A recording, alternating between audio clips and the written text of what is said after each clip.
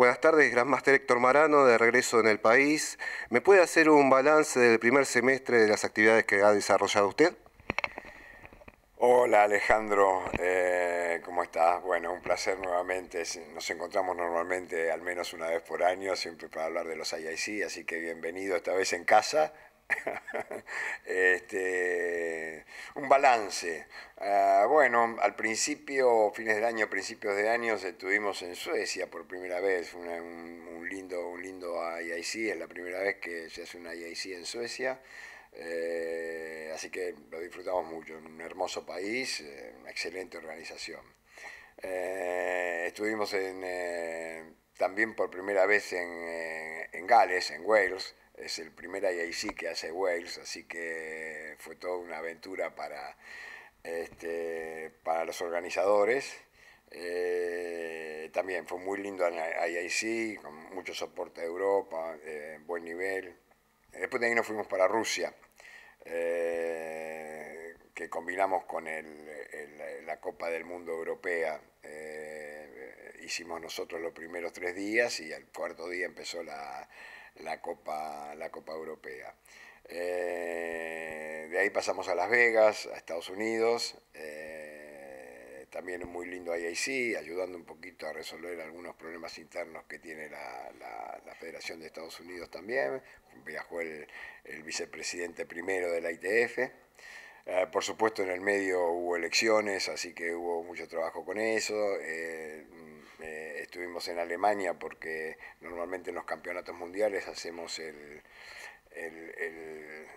la reunión anual de mi, del comité técnico, así que estuvimos toda la semana trabajando ahí. Cuando se realizan los IAC, a la gente se le consulta qué le gustaría que se vaya incorporando en futuros IAC. ¿Qué es lo que más está pidiendo la gente en estos cursos?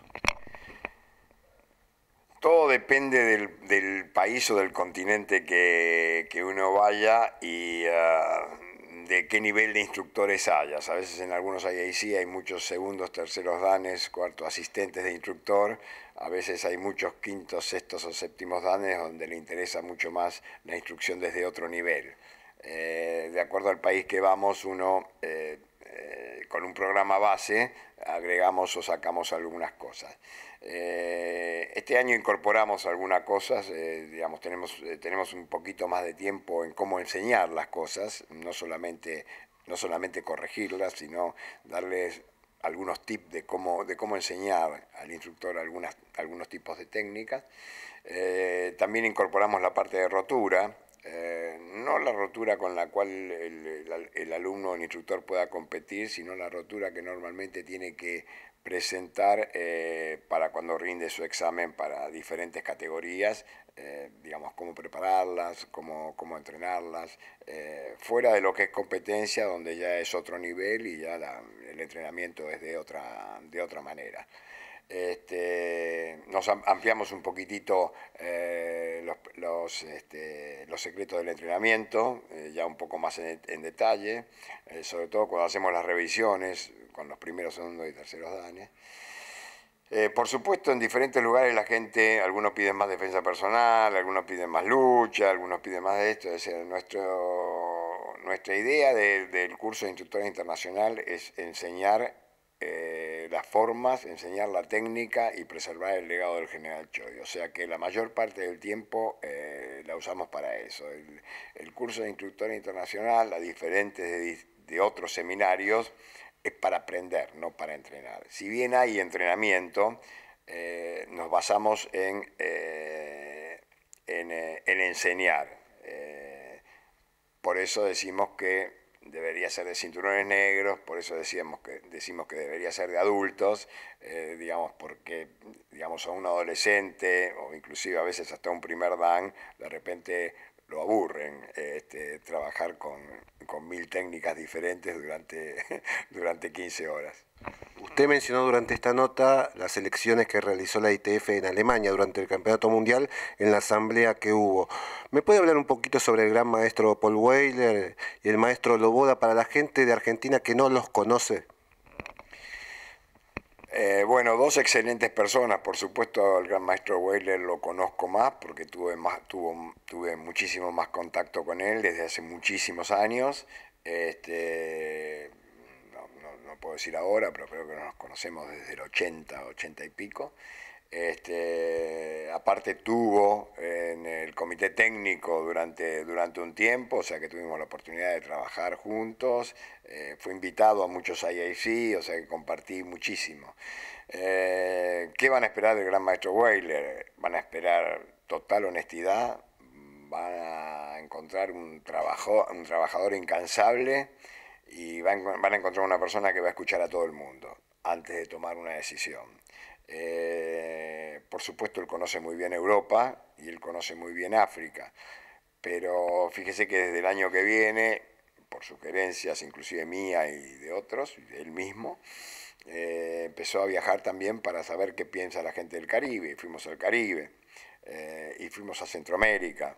Y este año estamos volviendo al Caribe, como él lo prometió, estamos volviendo a Centroamérica, como él lo prometió, y está volviendo a Sudamérica, eh, como dijo que lo iba a hacer, para escuchar las diferentes organizaciones o los diferentes maestros, para escuchar. Eh, digamos que es mucho más fácil que una llamada mucho más fácil que una llamada telefónica o, no digo más fácil es mucho más productivo hablar frente a frente con una persona y dialogar eh, que recibir un email de que me pasa esto que me pasa lo otro. Eh, durante el mes de noviembre, cuando se realice el IIC de Uruguay, esto mismo se va, se va a emplear, ¿no? Sí, no, no, no se armó todavía, yo lo voy a ver ahora él en, dos semanas, eh, porque estoy, viajando al IIC de China y él va a estar ahí también. pero la idea sí, a lo mejor quizás llegar un día antes o durante el IAC que él a los diferentes países o diferentes organizaciones que quieran charlar con él, seguramente va a armar un programa y van a ser bien recibidos. Y dentro del nuevo BOR tiene un alumno suyo. Leo Orozdueck, sí.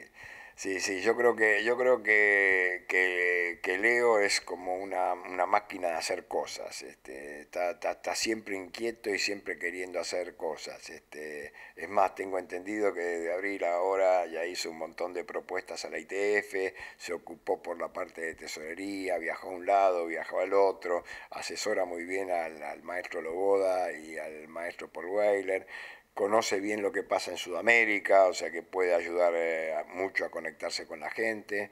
Eh, creo, que, creo que va a ser un, muy buen elemento dentro de la comisión directiva de la ITF. Pasando un poco al plano local, eh, Gran Master, ¿se han incorporado nuevos maestros a la federación? sí, sí, sí. en realidad la FETRA nació con todos los maestros y todos los grandes maestros. Este, después por diferentes situaciones o de repente la federación, la FETRA está, de alguna manera exige que haya asociaciones legales, porque FETRA nació en el 86, se perdió la personería jurídica. ¿Por qué? Porque se incorporaban personas, y incorporar personas federativamente no es correcto. Entonces ahora estamos intentando, aunque eso nos va a llevar mucho más tiempo, incorporar asociaciones entonces las asociaciones son las que van a dirigir la federación. Sí, se ha incorporado la asociación del maestro Benzaken, eh, se ha incorporado la, asociación del maestro Lorefice, eh, se ha incorporado la asociación del maestro Villegas, eh, hay gente que está terminando de hacer sus asociaciones este, y yo creo que ya estamos eh, con las suficientes asociaciones como para que al haber nueva gente eh, durante este año en algún momento eh, se, pueda, se pueda llamar a elecciones y haber una, una nueva comisión directiva que, que, bueno, que pueda dirigir los destinos de FETRA.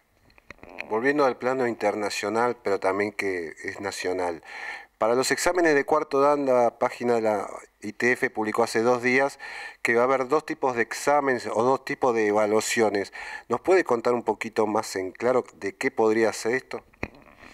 Esta idea nació hace, hace por lo menos cuatro o cinco años, eh, porque creíamos, inclusive desde, el comité técnico, eh, que tomar un curso para instructor internacional no lo habilitaba inmediatamente para ser instructor internacional, sino que tenía que pasar por un examen eh, como, para, que esté habilitado para que eh, para que eso fuera así, para que se pueda pedir el... Y el mero hecho de llegar a cuarto dan no lo habilitaba como instructor internacional.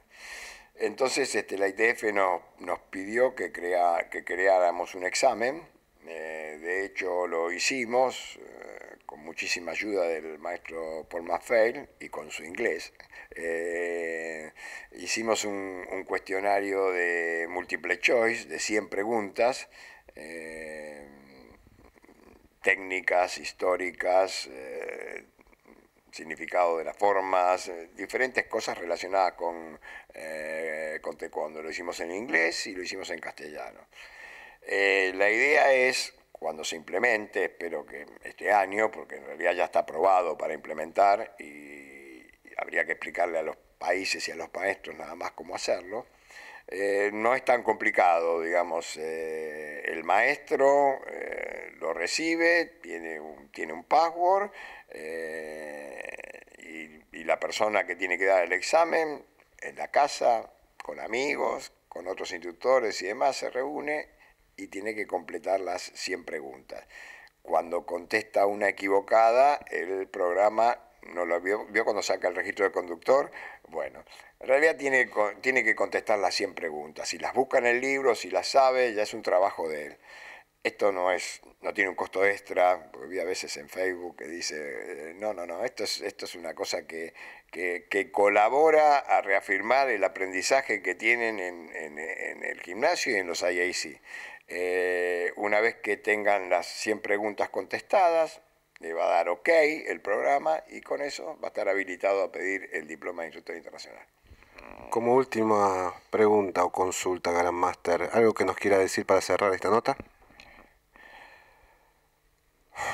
Bueno, empieza un nuevo proceso en, eh, la ITF, estamos, estamos muy contentos de este nuevo proceso, creo que dentro de poco eh, va a estar ya las primeras reuniones de comisión directiva, espero que este año.